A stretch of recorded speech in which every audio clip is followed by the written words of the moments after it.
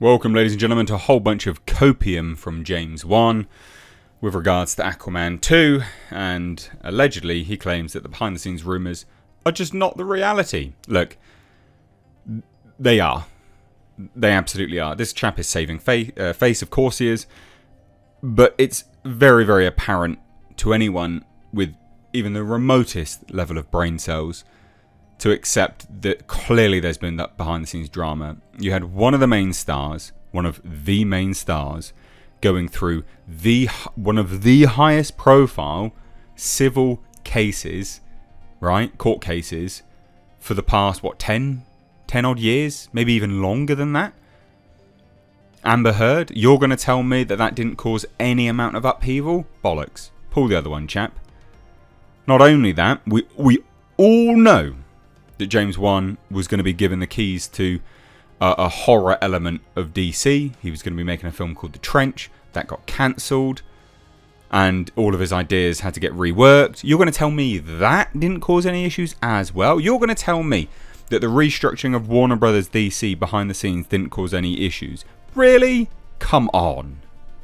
There are some people that will be that naive to believe this. But I give my audience much more credit than to believe they are that stupid. So, we're all on the same page, because you, my audience, are not that dumb. There absolutely was some behind the scenes rumours, and this is all a bunch of copium. So, I thought we'd take a look at it because it's funny. Hit subscribe if you are new here, turn the bell notifications on. Uh, that's actually super important. It's unlikely that YouTube will actually notify you, but if you do, maybe it will. So please do chuck them on. Uh, let's go, right? So let's take a look. Obviously, can I go through bit by bit? We have the recap of how Aquaman 2018 was a success. It was. I do not think they're going to uh, sort of, you know, recreate that level of success. They go on to state that obviously the sequel was a no-brainer. Of course it was. But remember, during all of that, they were going to be another movie, The Trench. Um, we've had, you know, sort of COVID-induced delays during all of this. Warner Brothers, even they note the reshuffle. Uh, and then from there, you know, there's been rumours. So what have been the rumours? Well, studio interference, extensive reshoots. We know that they've reshot stuff. There's actually been a whole bunch of behind the scenes photos that have leaked. So if they don't end up in the movie, then yeah, obviously there have been reshoots. But the go-to for these people are, there's always reshoots, it doesn't make a difference. Uh, does if you're reworking the entire film. Anyway, here's some of this cope.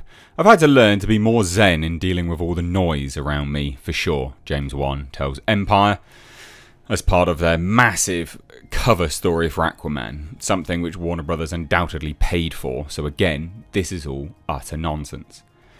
I'm a pretty private person, he says.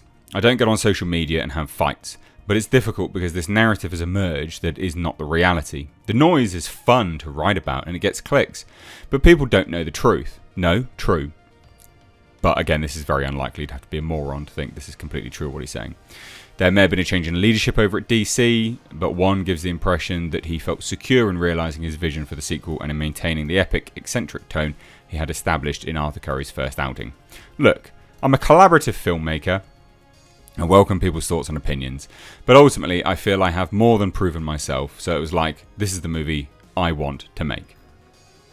So with regards to reshoots, one argues that they were in line with what's expected for a film as big uh, as as well, as big in scale as Aquaman: The Lost Kingdom. There you go. That's the go-to, ladies and gents. Oh, that's just in line. No, it's not.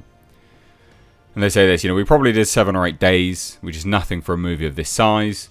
Uh, it was just spread out because it's so hard to get your actors back once you finish the initial shoot. They haven't been doing anything, guys. So no, it's not.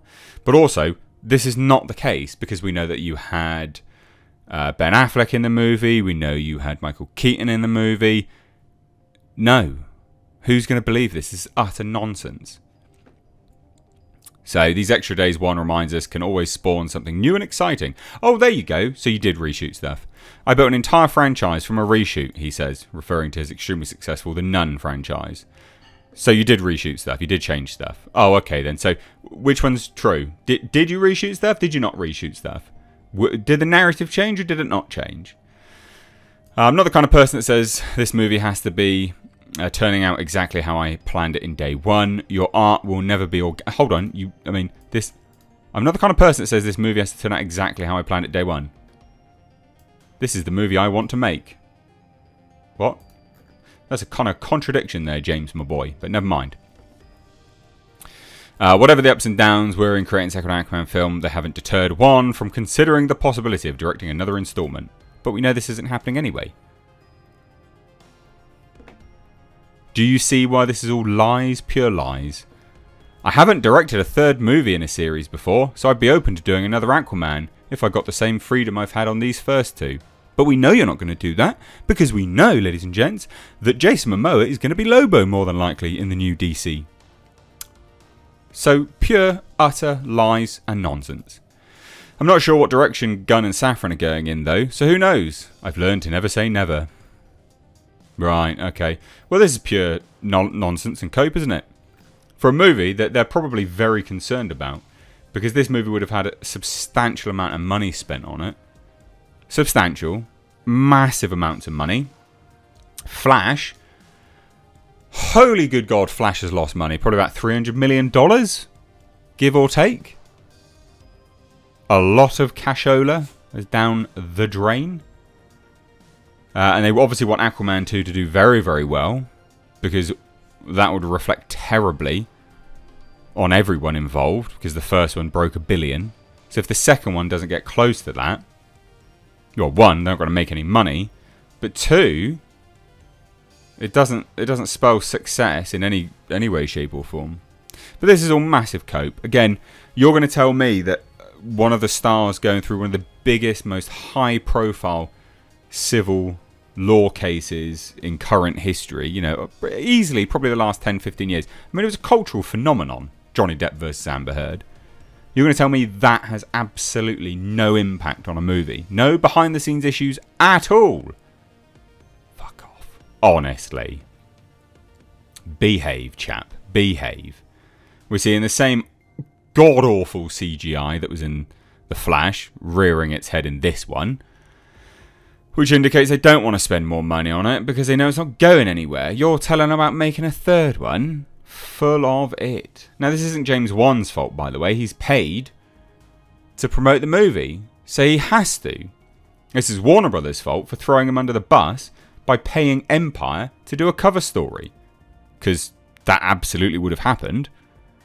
And so he's now thrown under the bus and having to try and promote this whilst also looking like a total idiot. So I'd love to hear your thoughts. Drop them down below. Cheers, guys. Take care. Bye bye now.